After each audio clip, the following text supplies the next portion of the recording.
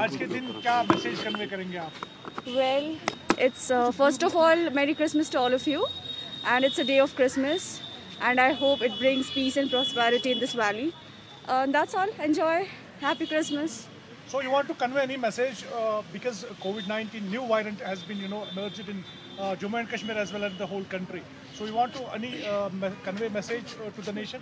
Well, I just want to say that uh, stay uh, home, stay safe, and take precautions. Wear masks, which is very important. You should also wear a mask, sir, please. So that's all what I want to say. Have a good day. Thank you. Yeah.